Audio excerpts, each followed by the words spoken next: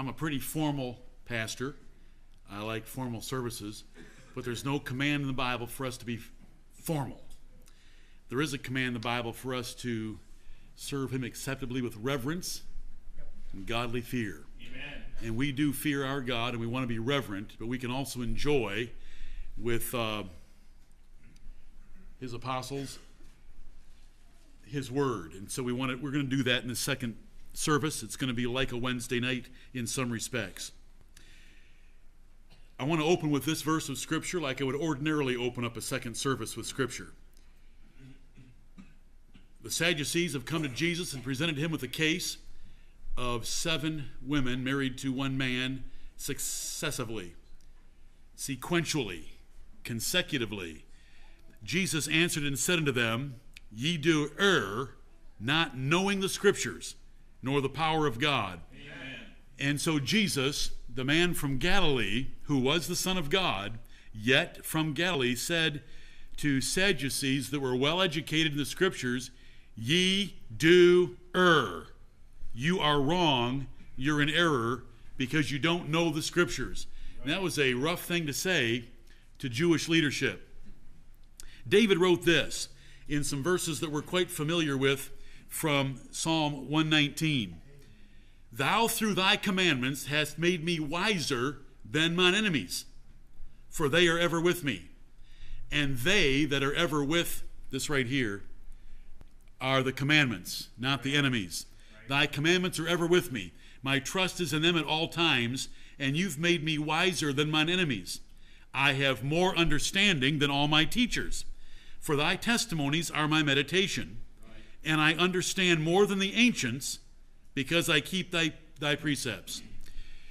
We love these three verses because wiser, more understanding, and I understand more. Number two, reversed, is number three. Those blessings over enemies, over teachers, over the ancients. And of course, I like thinking of the ancients as the church fathers because there's never been a more confusing group of men put together than the church fathers of the various periods of time that they call the church fathers. We love God's word. And the errors that we see around us and errors that we've had in the past ourselves are because we didn't know the scriptures, but we want to know them. And they're able to make us wise.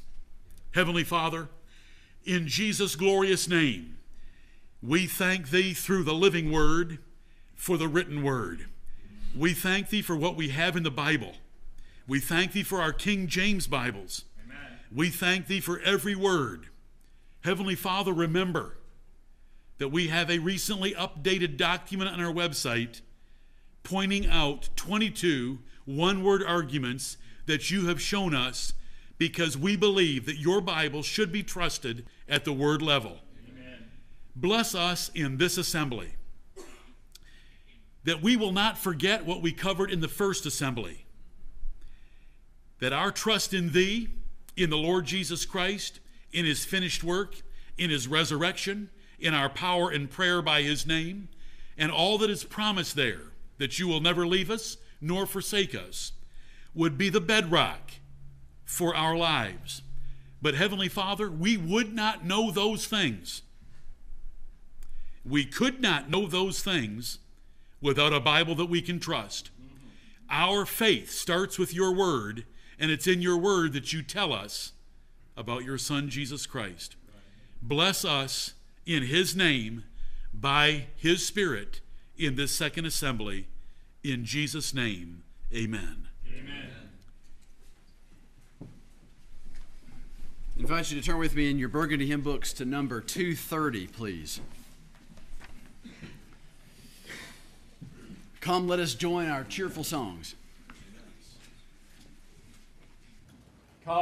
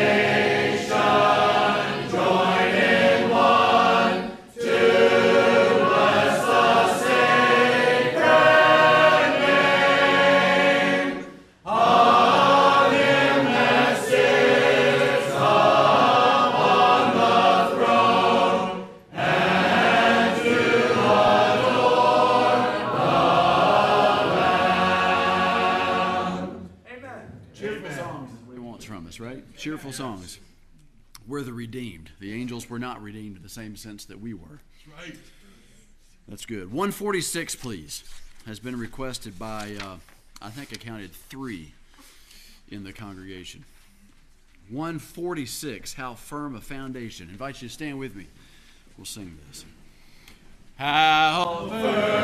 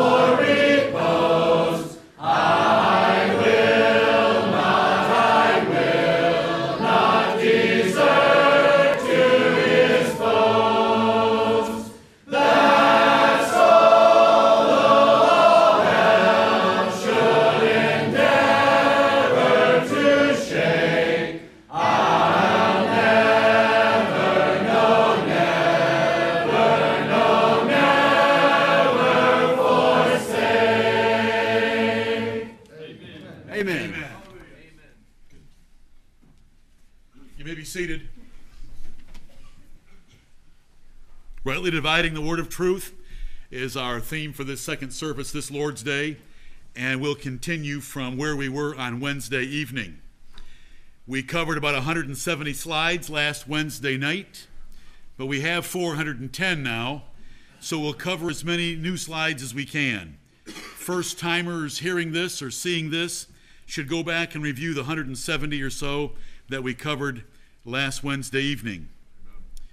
Study to show thyself approved unto God, a workman that needeth not to be ashamed, rightly dividing the word of truth. Amen. Any children 10 years of age and under that want to see me after the service that know that verse, I have something for you. Some of you already have, and I'm building my list. Let's say this verse together. Study to show thyself approved unto God, a workman that needeth not to be ashamed, rightly dividing the word of truth. And amen. Jesus Christ is the preeminent goal of our lives and our church. Jesus is known only by the Bible, which must be rightly divided or we miss him. If we don't have a Bible, we can't learn about Jesus Christ. If we don't rightly divide the Bible, we get confused with the wrong Christ. And Paul did warn that there was another Jesus. Our faith rests on inspiration, preservation, and interpretation. Amen. And interpretation is rightly dividing the word of truth. And that's where our faith comes from. So then faith cometh by hearing, and hearing by the Word of God. So we need a Word of God to be inspired, preserved, and then properly interpreted. This is a make believe picture, but it's the best we can do of Philip the evangelist with the Ethiopian eunuch rightly dividing Isaiah 53. Because the eunuch's question was Was the prophet speaking of himself or another man? He needed that passage to be rightly divided. When Philip drew near to that chariot and asked, Understandest thou what thou readest? The eunuch answered with these words How can I, except some man should guide me? And he desired Philip that he would come up and sit with him. And the passage goes on to say Philip preached to him Jesus. Right. Study to show thyself approved unto God, a workman that needeth not to be ashamed rightly dividing the word of truth. The word of truth being the Bible. What is the most important part of this great verse that was given by Paul to Timothy? The last third, rightly dividing the word of truth. God wrote the Bible with contradictions to mock his enemies. They only appear to be contradictions. They're not real contradictions. We can solve them easily by using the Bible's own internal rules of hermeneutics or interpretation. What is true in one case may not be true in a different case. What was the commandment that we looked at on Wednesday evening that this was true about? Thou shalt not kill, the sixth commandment.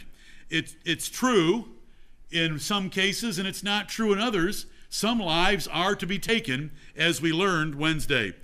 God gave this teaching rule in the Old Testament but he used different wording for it. Instead of rightly dividing, the Old Testament is gave the sense. It's Nehemiah 8 8. And here's Ezra and the Levites that were with him, the teachers of the people of Israel, when they came back out of Babylon to Jerusalem.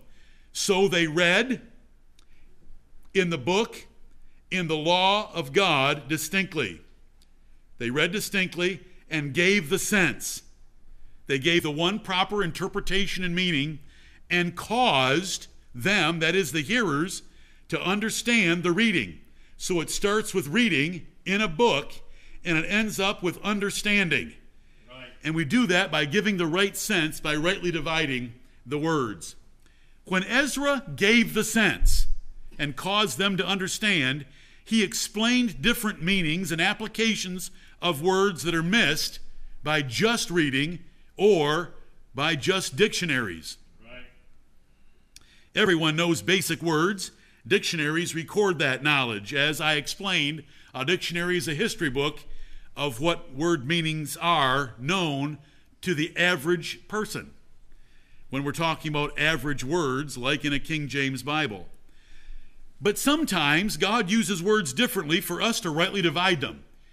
He will use a word in a different sense than we thought or think that it means, and we want to rightly divide that and apply it the way He's taught us in the Bible. Sometimes God uses words differently, and so we want to give the right sense to those words. The people of Israel needed Ezra to teach large and small differences in words for their better understanding of God's Word. Now, what is this? It's a dog. But remember, I can't go over the 170 slides from Wednesday evening. I have to keep pressing forward. So all you do is get a short glimpse of a German Shepherd, and it is a beautiful dog. Yes, I said that. Rightly dividing dog. Do you remember that dog had nine meanings in the Bible? How many occurrences of dog were there? 40, with nine meanings. And we saw that in Deuteronomy 23, it was a sodomite. Pastors in Isaiah 56, because a barking dog is a pastor doing his job, and so forth. And that list we've been through already. If we did not divide the word dog, and we happened upon the word dog in Deuteronomy 23, it means you cannot tie the sale of puppies.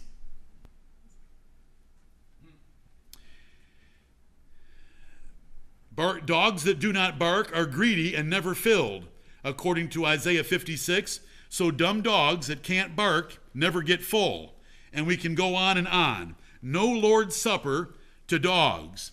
Have we ever tried to feed the Lord's Supper to dogs when we think of a four footed creature? But if we didn't make a division, Jesus said, Give not that which is holy unto dogs. What is dividing the Bible? What example might help you? And here's an example that I may have mentioned last Wednesday. I didn't have slides for it, and I want to show it to you right now. It is like taking mixed up cards, like playing the game of 52 pickup, and sorting them by some criteria, like solitaire. Now you've got this big pile of cards, and this is all the occurrences of a word or a concept in the Bible. It's on a big it's in a big pile on a table in front of you. It's in the Bible, but for our example, it's on a table in front of you. Rightly dividing the word of truth is putting them into piles of like cards. Right. Like that. Does that help you under rightly dividing? Children, the word divide means to separate into parts. And so when we rightly divide the Bible, we take the Bible's use of words and put it in different piles. We show that they mean different things in different places, those words. In the dog example, we had 40 uses of the word dog with nine different meanings. In the dog example, if we were still thinking about cards, we would have 40 mixed up cards on our table and put them in nine piles. Right. That's what rightly dividing the word of truth is. The preacher must study all 40 verses about dogs and separate them by nine different meanings. That's what he does by being a worker, a workman that's not ashamed, rightly dividing the word of truth. If we do this with lion, which I did yesterday, we have 124 occurrences and 21 meanings. That's a little too large for me to put on slides for you, though I did write out the 21 and send them to someone in the church just to show them. That's what would happen if we did the word lion. Can you think of someone really, really good that is called a lion? The Lord Jesus Christ is a lion. Can you think of someone that's really, really bad that's called a lion? The devil's called a lion, and there are lots of lions in between. 21. In both cases, dogs and lions, we ignore similes. I am not talking about a simile where it says, I am as hungry as a lion. We did not use any verses like that.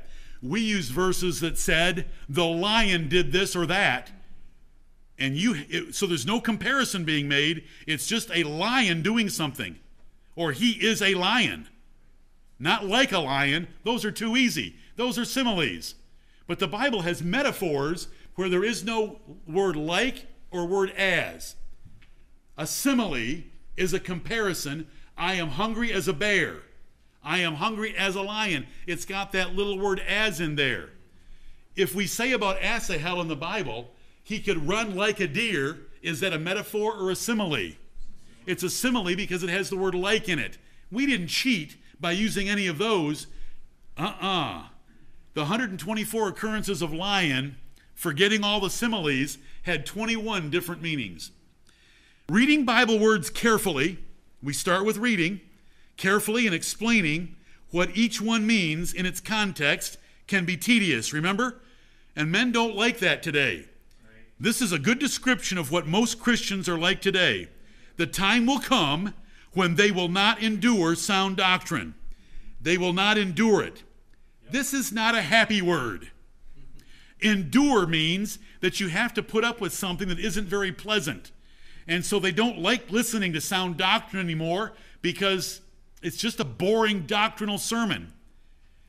But after their own lusts, because they just want to be, they just want to have something easy, something fun taught to them.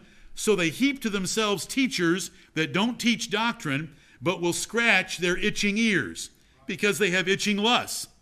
And they shall turn away their ears from the truth. They turn away their ears from the truth. They don't want the truth anymore. They want fables. Yep. They love Tim Tebow. Tim Tebow getting, getting up in their platform behind their pulpit and telling about playing college football. They love things like that instead of sound doctrine. Now, this is a pastor's outline that wants to show you the book of Acts in one slide. Now, there's a lot of dividing there. You see all the divisions that are being made.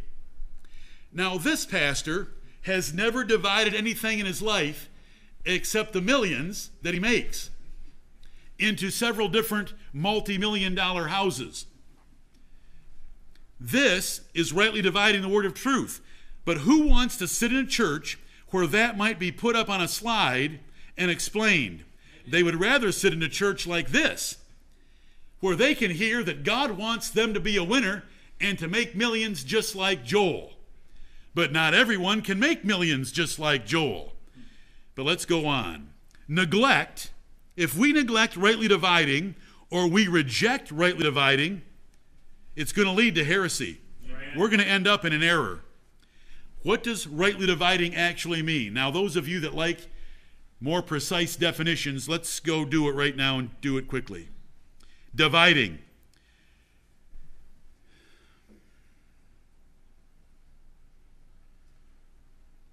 Divide, to separate. We already knew that. You already know this definition, but I want you to think about it. To separate a thing into parts. Isn't that what we already know about divide? Or a number a number or collective body into smaller groups, to split up, to break or cut asunder. That's what divide means. So when we divide the Bible, we take a word that's used over here like sleep. And we know that it means sleep in some places, but in other places, the word sleep means death. There's a pretty big difference between sleep and death.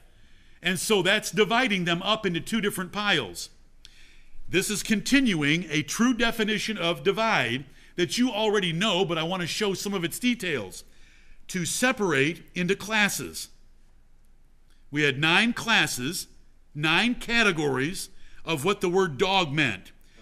To distinguish, to distinguish the kinds of, to class or classify. It was used this way in scholastic use. Our King James Bible, though written 407 years ago, was very current and is still very current scholastically, meaning when you are studying a book, you use the word divide to draw distinctions with regard. And so now we're thinking about the word distinguish since divide equals distinguished when it's used this way. So what does distinguish mean? To make a distinction. Does that sound familiar? It's what we had right back here. You say, where was it? Right here.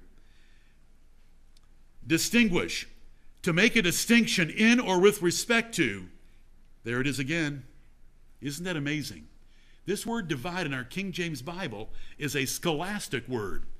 It's a word that is very current and very appropriate for studying a book. To draw distinctions between various meanings of a word or statement. Is that exactly what we do? That is exactly what we do. Hence, to make subtle distinctions. Amen. To make or draw a distinction. This is what it means to rightly divide the word of truth. To make or draw a distinction. To perceive or note the difference between things. There's a difference between things. To exercise discernment, to discriminate between things that are different. Okay, did you get that? Yep. For those of you that like definitions and want to see it, it's precious. Remember what happened. Satan doesn't like rightly dividing the word of truth. So, Satan took the word divide out of the modern Bible translations. Right. Took the word divide out. Is the word divide some antiquated word that we can't understand? Is it some word that doesn't apply to proper preaching? It's the perfect word. Thank you, blessed God, for it. We rightly divide if we put a sense on a word that fits the context and the truth. So we have all kinds of ignorance and nonsense coming out of pulpits and book publishers by those that reject rightly dividing. They don't even want it in 2 Timothy 2:15.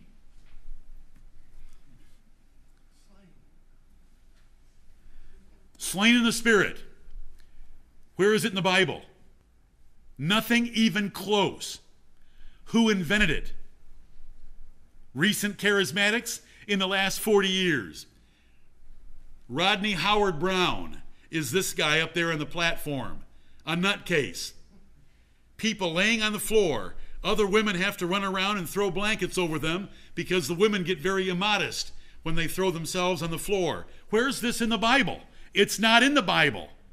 But once you start down the road of using the Bible without rightly dividing it, where are you going to end up? The Bible is actually a limiter to us. It keeps us in the way of truth because we can't go outside it. This guy doesn't care about going outside it. Charismatics don't care about going outside the Bible. They'll go outside it. They'll have visions that Fidel Castro, this is Benny Hinn, visions and dreams that Fidel Castro is going to die, but Benny had those dreams 30 years ago. That Jesus is going to return, but Jesus didn't return. Benny's wrong, wrong, wrong. Back to our verse study to show thyself approved unto God, a workman that needeth not to be ashamed, rightly dividing the word of truth. Rodney Howard-Browne ought to be ashamed, but he's too ignorant to be ashamed. We're ashamed of him. And Christianity ought to be outlawed if that's Christianity. But that isn't Christianity. We want we you want your pastor to be a workman who studies to rightly divide the word of truth. Who is the seed of Abraham? Which one of these pictures? The middle one? Okay. Over here we have Orthodox Jews, and over here's the flag of Israel. And when we ask about the seed of Abraham, it's neither one of those because the seed of Abraham is Jesus Christ right. and those who are in him. Now, before I leave this slide, and I appreciate a faithful wife, what is wrong with this slide? Beautiful. Charlie, dry pastor baptistry.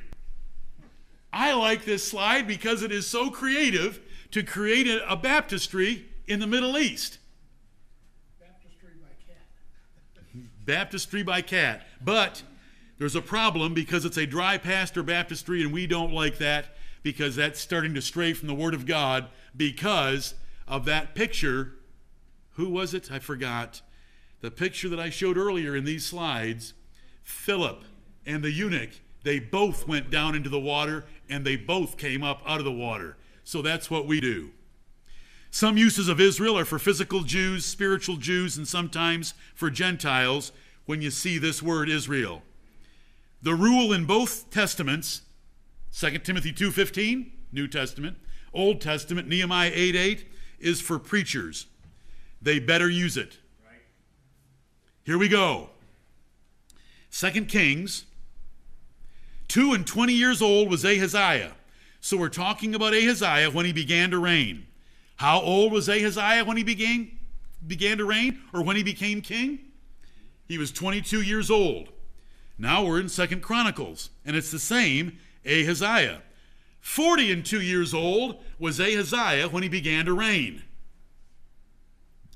Which should we go with? Yes, is the correct answer. We go with both 22, 42, 22, 42. Oh no, what a terrible contradiction in the Bible. Was Ahaziah 22 or 42 when he became king? Does 22 equal 42?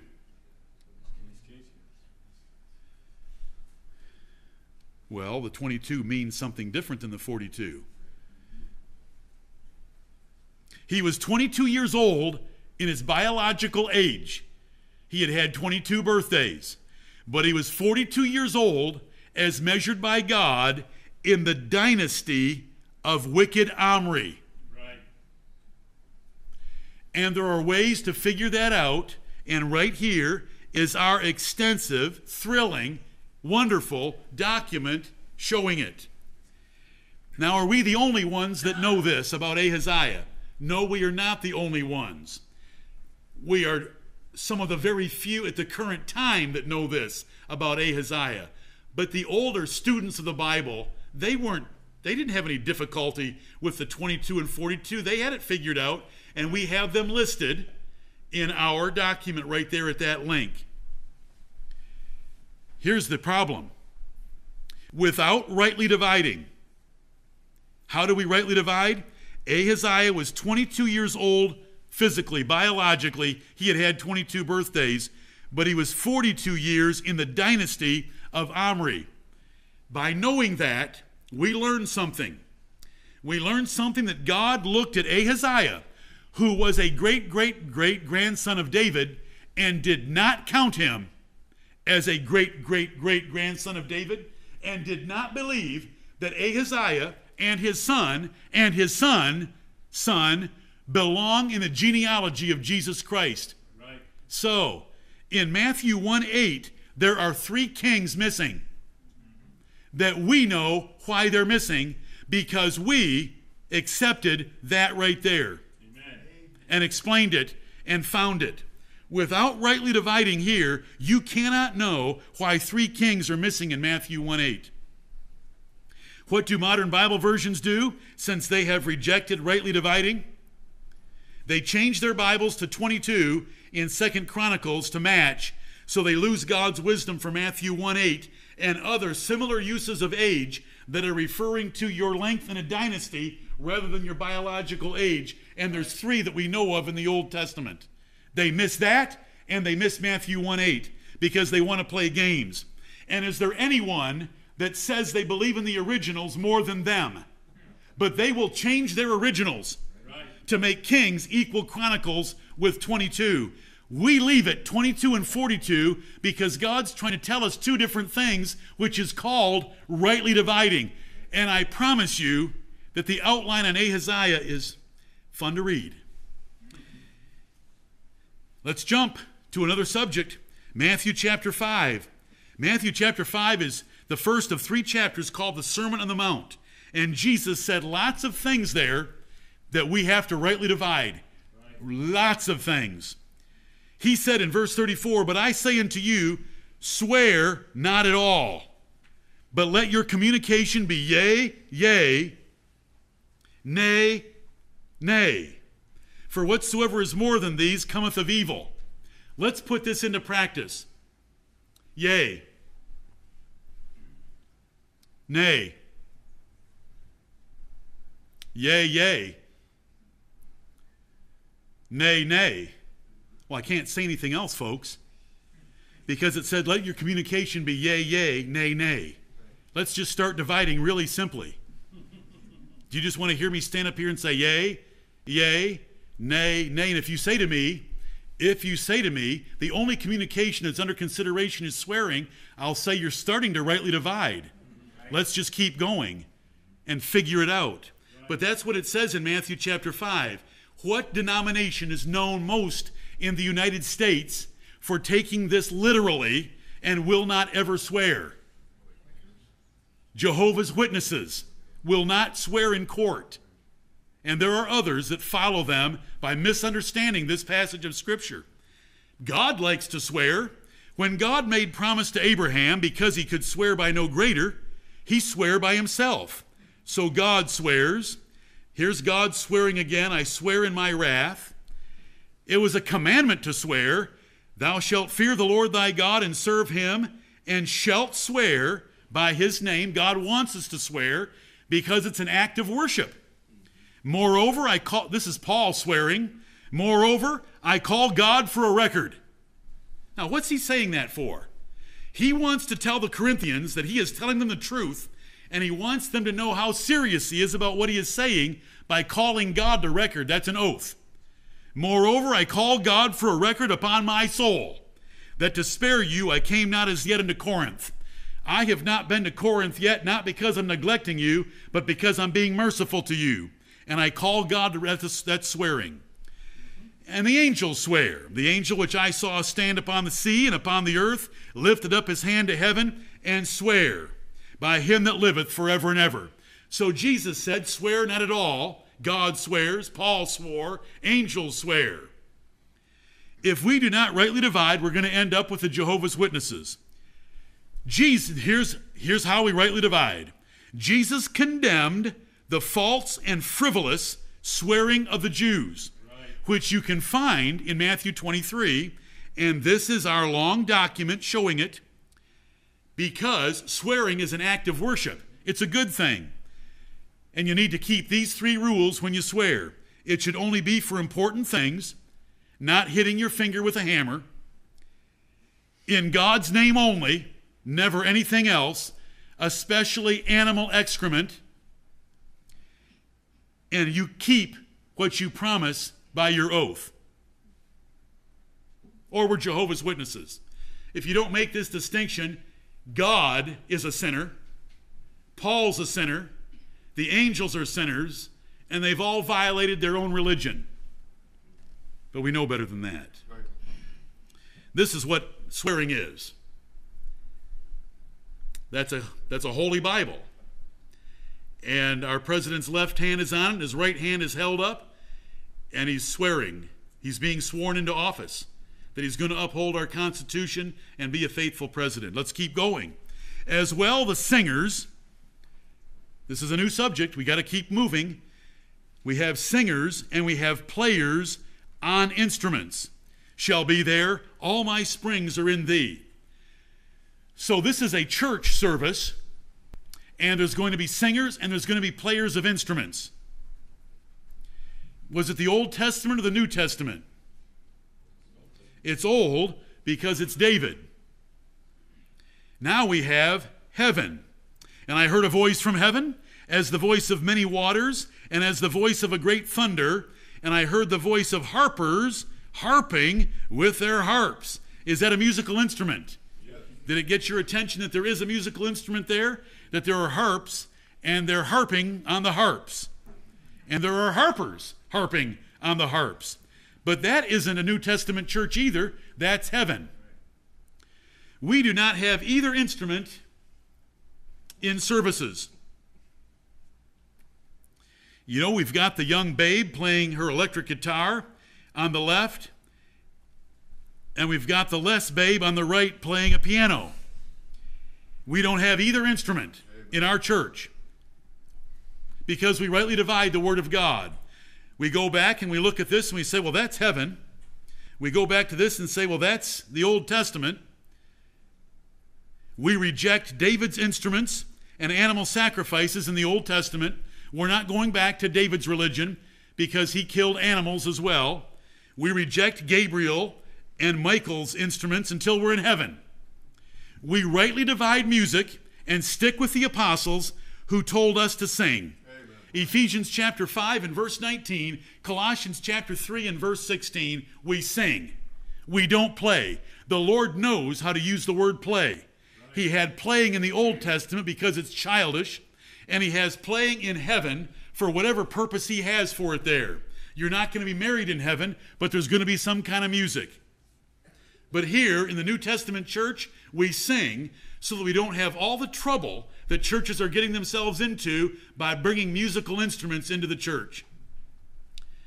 Let's go. New one.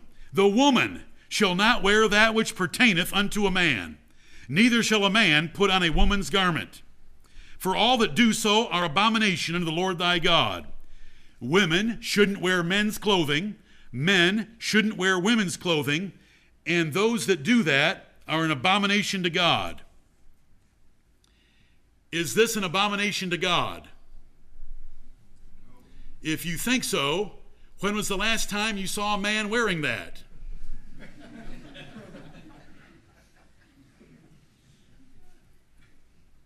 We're rightly dividing the word of truth. Right. Are there denominations that take this verse and do not believe a woman can ever put on a pair of pants? Because they don't rightly divide it. That's about as feminine as you can get. I mean, it's just, it's pink and it's modest and it covers and it's pants, but I haven't worn anything like that in a while, and I hope you haven't. Amen. Now, this woman, she's been to the barber and she's wearing clothes that pertain to a man. She's trying to look like a man, and this man is trying to look like, I don't know. He needs to shave his legs. You say, Are you trying to entertain us? No. No. Is there a Bible verse like this in the Bible, or did I make this up? Does that Bible verse right there cause some people to stumble? It does. Do we have a verse in the New Testament that says that we cannot endure an effeminate man in our congregation? It does. We rightly divide that that verse, Deuteronomy 22 5, is condemning effeminacy, 1 Corinthians 6 9 through 11, cross dressing, transvestism, transgendering, gender bending, and role playing. That's what's included. Those kind of sins related to trying to play the role of the other sex. Let's keep going. Withhold not correction from the child, for if thou beatest him with the rod, he shall not die. My sons thought I believed that many times that I could beat as hard as I wanted to and they would not die. Thou shalt beat him with the rod and shalt deliver his soul from hell. Whoa, guys, it was worth it. Look at what the verse says. Just think about it. If thou beatest him with the rod, he shall not die. Does that mean you can beat him as hard as you want to and God's going to keep him alive? No. Thou shalt beat him with the rod and shalt deliver his soul from hell. Can you save your children by spanking them? No. If you do not divide these verses, verses, you can beat as hard as you want and beating will get them to heaven. We rightly divide those verses to teach that beating saves a person from premature death. Thou shalt beat him with, uh, if thou beatest him with the rod, he shall not die. He shall not die a premature death because of crimes, because you've taught him that the life of crime doesn't pay. And that hell is a grave for a premature death. You'll deliver his soul from hell. That's what those verses mean. And how do we arrive at that? By rightly dividing them. Do we have other places in the Bible that show us hell is the grave and not the lake of fire? Definitely. Amen. Let's go. John 9 we, we're happening upon the man born blind. And his disciples asked him, this is the apostles to Jesus, saying, Master, who did sin, this man or his parents, that he was born blind? Jesus answered, Neither hath this man sinned nor his parents.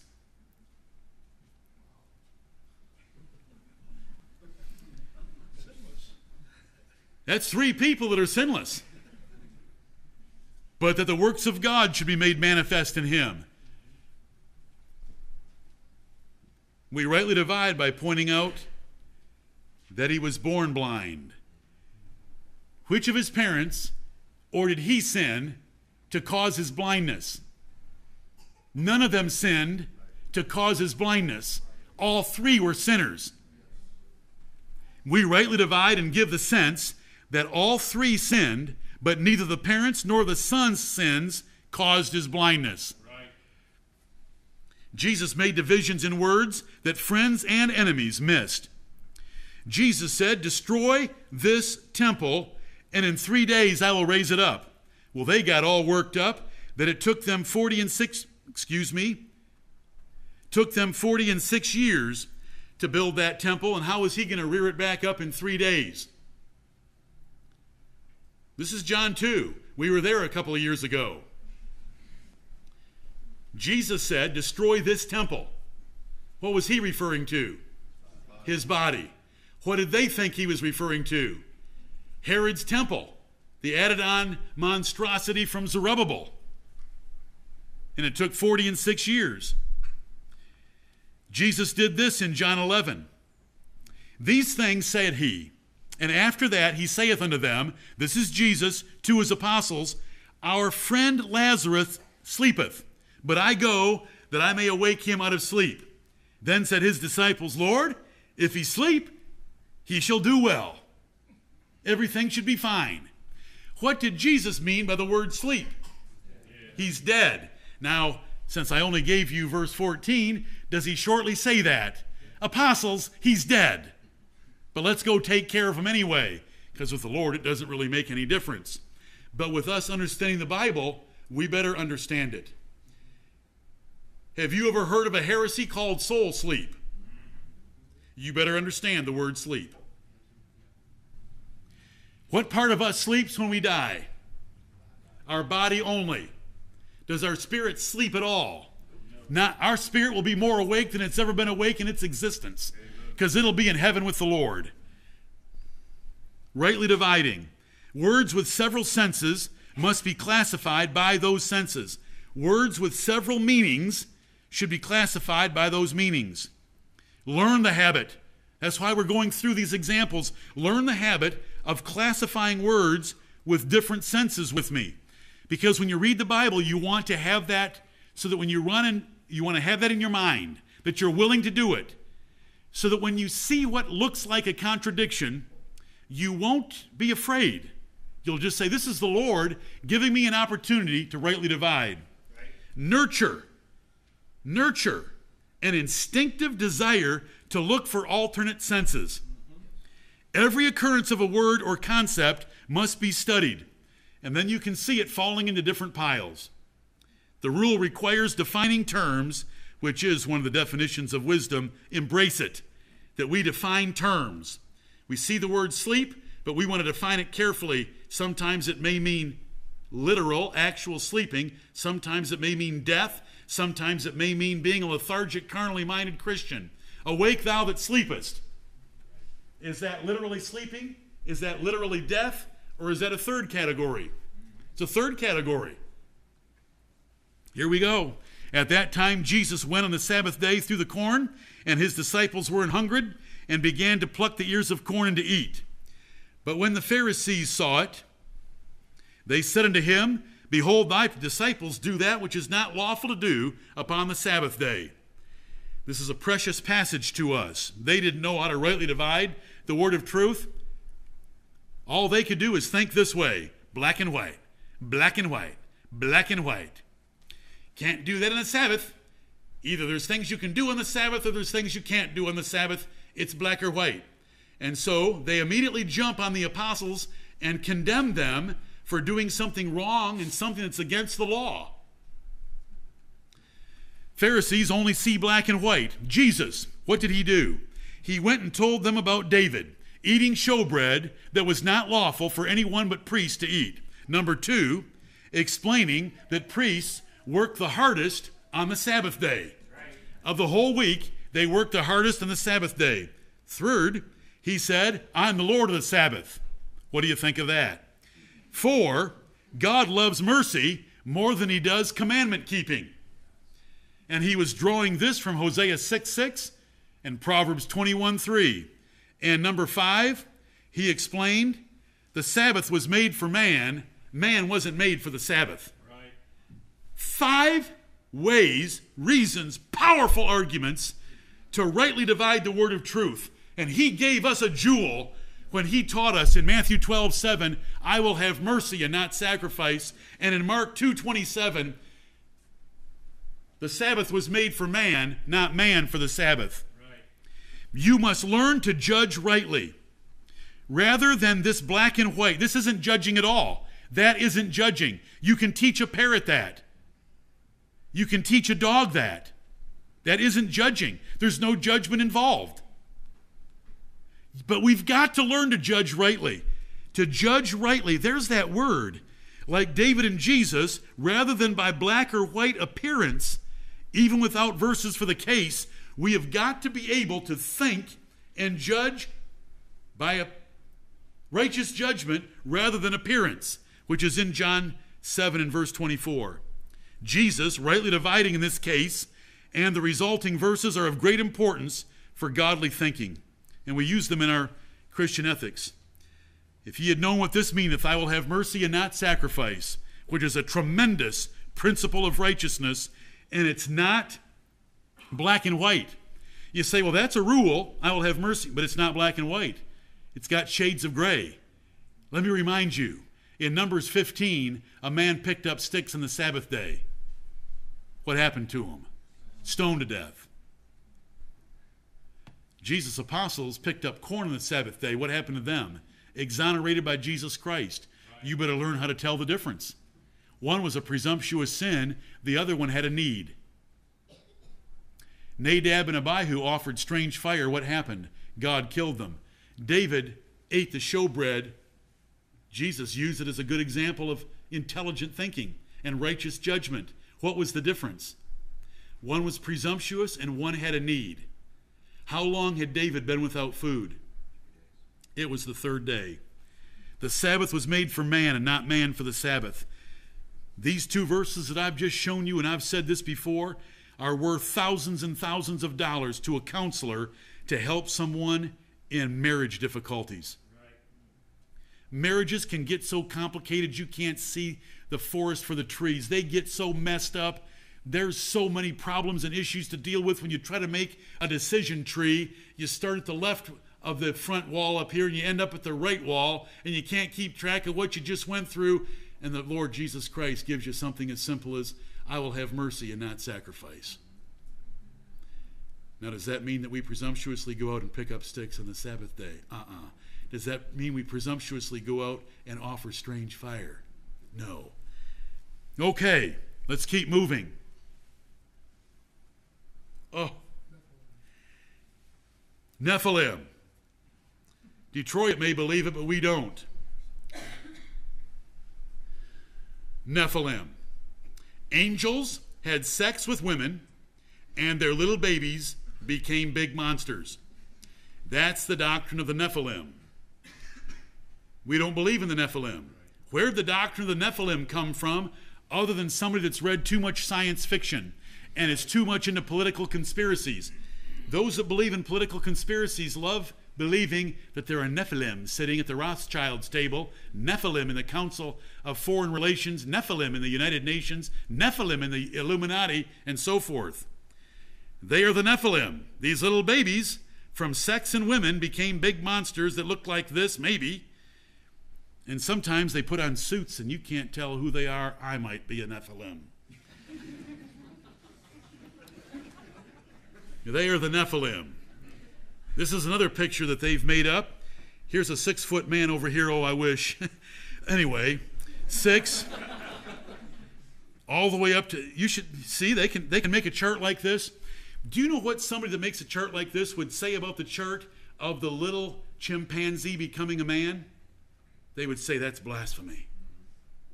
Then they draw this. Because see, they're quoting the Bible. Og of Bashan and Goliath scale, early Canaanite giant scale. Well, this is the movie Noah. This is the picture they had of a Nephilim. Here's where it comes from because they don't want to rightly divide the word of truth. Genesis chapter 6, this is the beginning of the chapters about the flood.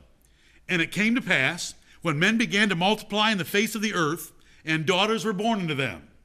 That the sons of God saw the daughters of men, that they were fair, and they took them wives of all which they chose. They just married anyone they wanted to because of looks. The key being the sons of God. Who are the sons of God? The Nephilim theorists say that the sons of God are the angels. And they do this they get a concordance. Concordances are dangerous because all concordances do is show you the next occurrence of the word doesn't help you understand what the word means. Right. They grab a concordance, and the next use of the sons of God is this Job 1 6. Now there was a day when the sons of God came to present themselves before the Lord, and Satan came also among them. Then they go to the next one. Well, I didn't put it in. trying to save slides because I only wanted 410. By, the, by, Monday, by Monday evening, I'll have 500. The fatal error, the fatal error of this ridiculous doctrine is presuming sons of God must mean angels. Because the next occurrence of it Many books later, in the book of Job, sons of God does mean angels. Is there not a better and more common use of sons of God? Isn't there some other use in the Bible that's just a little more readily apparent and exciting and purposeful and meaningful? Like this verse Behold, what manner of love the Father hath bestowed upon us that we should be called the sons of God. Therefore the world knoweth us not because it knew him not. The sons of God are the righteous children of Seth. The sons of God are the followers of God in the earth. And they started marrying the daughters of men, worldly women, just for looks, instead of the character and commitment to the Lord Jehovah. Right. The ridiculous fable is due to not rightly dividing and willingness to scratch the itching ears of a doctrine hating generation. There's no comment of the 10 commentaries that I trust enough to look at from time to time, no one has ever believed the Nephilim nonsense. This, this is nonsense back here. It's just a Mickey Mouse game with the Bible by, by connecting verses that don't belong being connected together. The sons of God were the righteous on earth, the righteous men on earth who sinfully married wicked worldlings and God drowned the world for it. Throughout the Bible, righteous people should never marry unrighteous people. God fearing people should never marry people of the world. God hates that. He judged it severely throughout the Bible. The New Testament teaches it that you're free to marry whom you will, only in the Lord.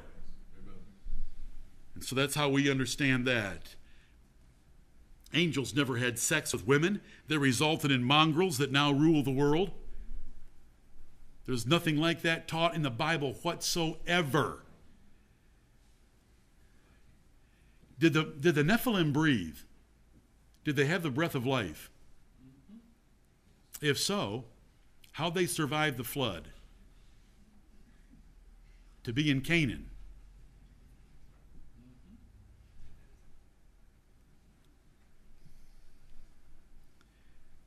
I, my, my time's out. You know, I've got another couple hundred slides. Jesus increased in wisdom and stature and in favor with God and man. Jesus. Jesus increased in wisdom? You mean he was smarter one day than he was the day before? Yes. Is this true about Jesus? This is what he said to Nicodemus No man hath ascended up to heaven, Nicodemus, but he that came down from heaven. Who's he referring to so far? Himself. Even the Son of Man, which is in heaven. Now, wait a minute. Was Jesus with Nicodemus or was Jesus in heaven? Yes. Okay. Take heed, therefore, unto yourselves and to all the flock, over the which the Holy Ghost hath made you overseers, to feed the church of God, which he hath purchased with his own blood. Does God have blood? no. No. But, but, but it looks like it. He doesn't. Okay, another one. To make all men see what is the fellowship of the mystery, which from the beginning of the world hath been hid in God, who created all things by Jesus Christ. I thought Jesus was the name of the baby that was born 4,000 years after creation. I thought the angel told Joseph, Thou shalt call his name Jesus, and I thought the angel told Mary his name would be Jesus. And it says that Jesus Christ created all things. Is that true? How about this one? And when all things shall be subdued unto him, then shall the Son also himself be subject unto him. Does this say that Jesus is subject to God? It does. Jesus has two natures. This is us rightly dividing. This is why we're counted as heretics by so many. Jesus has two natures. We don't forget that. He is fully God and he is fully man. Some verses describe his human nature, and some verses describe his divine nature. So that's how we interpret those verses. We go back to them, and God doesn't have blood except through his incarnate Son, the Lord Jesus Christ. Jesus grew in wisdom only in his human nature, not his divine nature. If you do not rightly divide such verses about Jesus, you will end up blaspheming him in heresy. So we divide, and we separate his human nature from his divine nature. Who is this man? Martin Luther, the man who preached sola scriptura, changed the Bible to fit with his unorthodox theology. Here's what he did. Martin Luther did not like James 3:28 the way it was, so he added the word faith. We reckon therefore that a man is justified by faith only. What is that called in the little solas in the little solas? Sola fide. Faith only. Scripture only as long as we can get rid of some scripture and change scripture. So Martin Luther did this to Romans 3:28, and this is what he wrote about the book of James, because James says that we're justified by works. James is a right strawy epistle. No gospel character in it. I will not have it in my Bible in the number of the proper chief books. This particular meme maker, we ought to have a segment on our new website of memes. Galatians 1 6 9 is Paul saying, If any man or an angel from heaven or we ourselves ever preach any other gospel unto you than that which we have preached unto you, let him be accursed. To Martin Luther. Justification by faith alone. This is a group of people mocking Martin Luther. Martin Luther said justification by faith alone he had to change the Bible to do it. And he's contradicting the book of James. And it's the Catholic Church pointing out his errors. We do not look to Martin Luther for anything except one song in our hymnal A Mighty Fortress is Our God. Therefore we conclude that a man is justified by faith without the deeds of the law. That's Romans 3:28, but there's no alone. James 2:24 ye see then how that by works a man is justified and not by faith only. Those two different those two statements that appear to be contradictory don't bother us. We rightly divide it. Paul and James did not contradict each other at all. Amen. Martin Luther scorned James to keep his idea of sola fide, faith only. Paul taught legal justification by Christ, evidenced by faith. James taught practical justification by works, proving faith. And they fit together perfectly. A timeline of Abraham rightly has faith after justification. Remember that about him. It wasn't until Genesis 15 that God said it was counted to him for righteousness. This is the last one. The Lord God said, It is not good that the man should be alone. You got it down, Pat? Do you know this one? Any single people in here that believe this? And the Lord God said, It is not good that the man should be alone. I will make him and help meet for him. So it's not good to be single. I say, therefore, to the unmarried and widows, it is good. It is good for them if they abide even as I. How many wives did Paul have? None. Paul was single. And yet Paul says it is good. So we've got Paul saying it's good to be single, God saying in Genesis that it's not good to be single. We've got to rightly divide it. Has anyone ever come to me with this question before? Yes, and yes, and yes. Is it good to marry or good not to marry? the answer is yes, because it depends on the distinction you're making. Marriage, as a general rule, is a good thing for both sexes. Notice what I said. Marriage, as a general rule, is a good thing for both men and women, guys and girls. A present distress at Corinth made it hard to be married.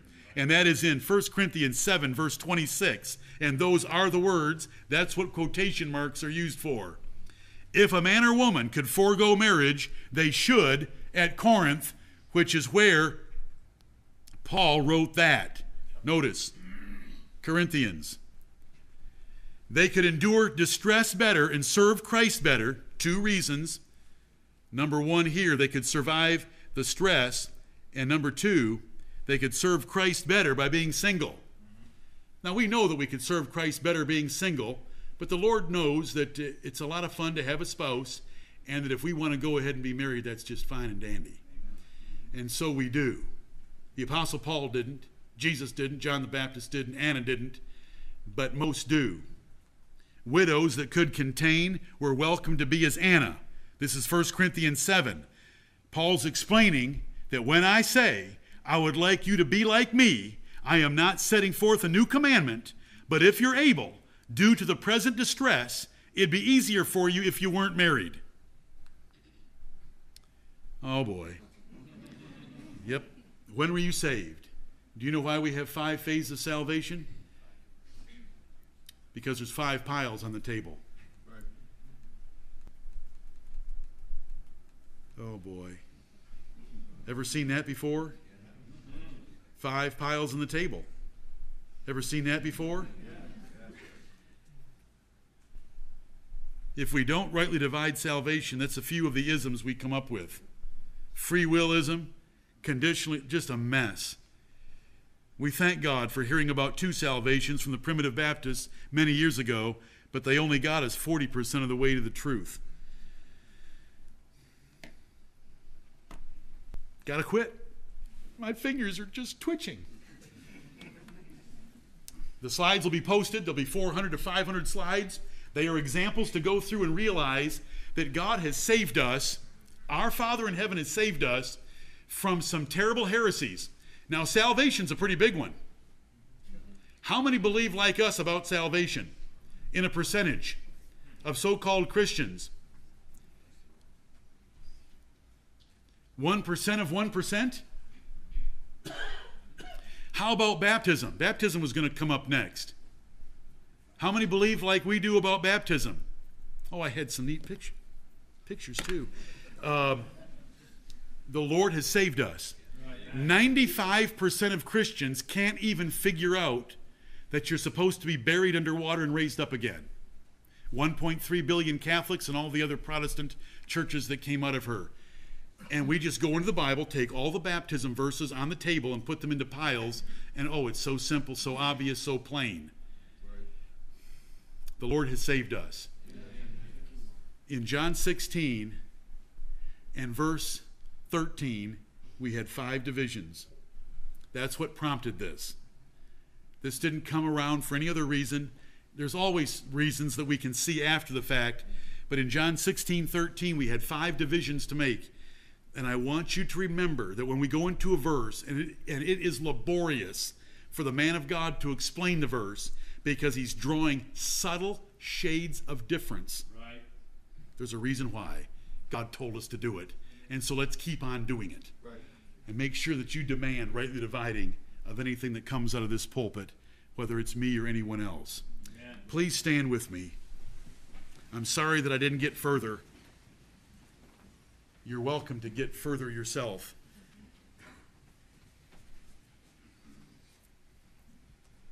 Any children 10 and under that want to let me know that they know 2 Timothy 2:15, I'll be happy to see you for a difficult meeting hereafter I pray. Father in heaven, Lord of heaven and earth, I thank thee that thou hast hid these things from the wise and prudent and revealed them unto babes. O Lord, thou hast been very kind to us. You have shown us doctrine after doctrine how to rightly divide it and to be saved from some foolish and terrible errors. We thank thee, Lord, that we're not part of the Jehovah's Witnesses. We're thankful, Heavenly Father, that we're not sprinkling infants. We're thankful, Heavenly Father, that we don't believe in an age of accountability. We thank you, Heavenly Father, that we reject the fable of Nephilim. You have blessed us in so many different ways, and we've tried to catalog a number of them so that we can offer up praise to Thee and, and train and teach everyone in our church right down to single digits, if they're sharp, of how we approach the Bible. And Heavenly Father, remind these people that sometimes it'll be tedious. Sometimes others will say that we're too picky about the Word of God. But keep us picky, keep us tedious, open our eyes to see what we don't see yet, open our ears to hear what we haven't heard yet, and give us understanding because we're just little children that want to be faithful in your Word. And now we thank Thee. Go with us, keep us by your mighty power, and let us rejoice in all the good things you have done, are doing, and will yet do for us. In Jesus' glorious name, amen. Amen. You are dismissed.